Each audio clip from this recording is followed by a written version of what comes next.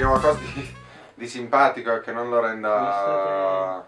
Cioè, che non lo sminuisca. Eh, capi, cioè...